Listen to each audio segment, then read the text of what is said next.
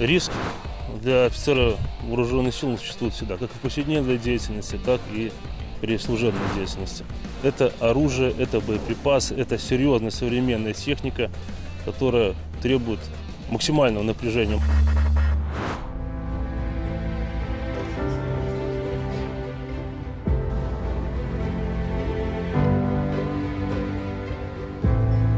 Моя первоочередная задача, я хочу, чтобы так было, когда молодой человек уходит домой, чтобы он был готов к жизни, чтобы он был э, готов к тому миру, который его ждет за забором воинской части, чтобы он мог э, осмысленно, взросло смотреть на вещи и принимать нормальные, взрослые, обдуманные решения.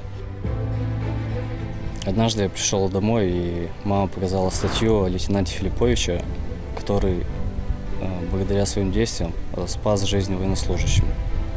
И после прихода в армию я был удивлен, что именно этот лейтенант э, стал нашим командиром роты. Офицер в первую очередь должен быть примером для своих подчиненных. Солдат, э, глядя на своего командира, должен стремиться быть таким же. Я никогда не позволю себе перед солдатами в первую очередь это обманывать, потому что люди, они все видят. Значит, была у нас уже огневая подготовка. Также кидали учебную гранату. И вот вспомнился этот случай и пытался сделать все правильно, что в целом получилось. В данном случае военнослужащий взял боевую гранату, э, выполнил команду к бою, все у него получалось. Порядок действий был правильным, я, соответственно, контролировал правильность выполнения упражнения. И на замахе э, почему-то рука разжалась, и граната выпала обратно. Времени было 3-4 секунды, не больше. После того, когда я увидел гранату на земле, я попытался ее выбросить, э, после чего э, взял солдата, накрыл собой, ну, после чего произошел взрыв. Ну и слава богу, получилось так, что граната взорвалась э, где-то около двух метров от нас, двух с половиной метров. Поскольку мы были в средствах защиты, очень, скажем так, повреждения в данной ситуации получились, ну, скажем так, маленькие. Вот. Служить под начальством старшего лейтенанта Филипповича Дмитрия Ивановича. э, Огромная честь для меня и нашей роты. Самая большая награда для меня это то, что солдат жив. Большая награда еще в том, что я увидел, как много людей за меня переживает. Это включая и родных, близких, ну и на службе тоже. Многие звонили, писали, приезжали.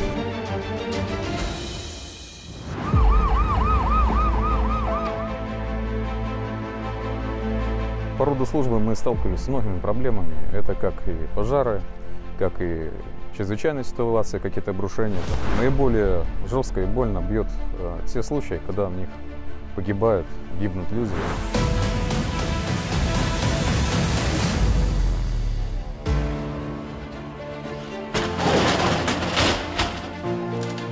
мысль служить в МЧС появилась после службы в армии. У меня знакомый уже здесь работал. Он позвонил, что место есть, попробуй. Ну вот, уже пять лет, шестой год пошел, работаю. Это был вечер, э, примерно пол пятого вечера, 20, 22 декабря. Поступил звонок в Центр оперативного управления от ОЦОУ э, от соседки, от гражданки, от женщины. Сообщала, что про- произошло возгорание в доме, нужна наша помощь. Вот, по сообщению машины выехали на место происшествия. Я поехал помочь ребятам. Пожар. Людей мало. Нужно все равно помогать. Установить машину на водоисточник, еще что-то, потянуть рукав. Нужно помогать своим. Ну, вот туда направился. Ребенок был со мной, э, не было времени его отдавать назад теще, там, жене, в машину. Поехал. Сейчас, если брать фактически в отделке жилых помещений, применяется вся таблица Менделеева. И при горении, э, естественно, выделяются определенные продукты, которые при вдыхании человека могут вызвать как потерю сразу ориентации, а при дальнейшем дыхании, естественно, удушье и гибель. Из дома уже валил густой черный дым. С окон, с щелей, дверей. Ребята, которые тушили, ведрами тушили. Но обычно такого нет. Обычно все стоят, снимают на телефон, ждут МЧС. Сказали, что туда уже зайти невозможно, там люди слышали крик. Ну и вошел в дом. Просто прямо уперся в кровать, нащупал человека. Стянул с кровати, потянул к выходу. Сказали, что кричала женщина. Пошел опять.